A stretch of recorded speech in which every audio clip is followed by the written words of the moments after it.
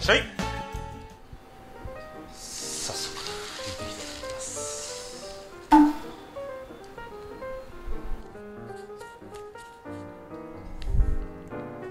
海辺で飲みたいクールなやつちょっと選んでいきます。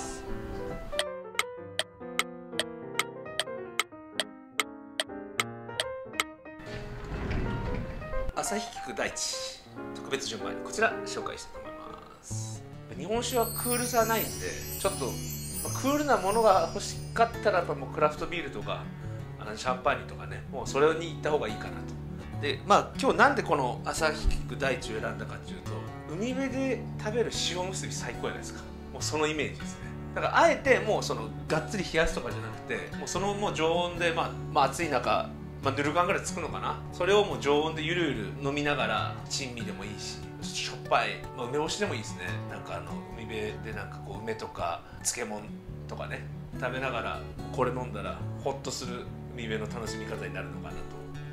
日本酒を考えた時やっぱご飯のあるシチュエーションっていうことを考えるといろんなものを選びやすいというか。だからまあうちでいうそのモダンとクラシックって分けてる、えーまあ、モダンがフレッシュフルーティーなんですけどクラシックが落ち着いた、まあ、熟成感のあるお酒なんですけど、まあ、特にクラシックのお酒っていうのはもう白飯のある景色そのままが似合いますんで今日だと、えー海辺の塩むすびとかねお惣菜のあるこう食卓とかね。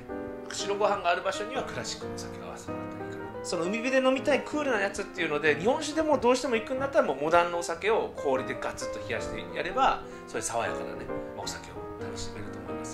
僕はなんとなくまあ日本酒らしさを楽しんだ方がいいと思うのであえてこれを選んでみました、えー今日の酒クエスチョン、えー海辺で飲みたいクールなやつ。まあクールなものを選ぶより酒らしい、えー酒を選んで白結びのように楽しんでみてはいかがでしょうか。ありがとうございました。チャンネル登録お願いします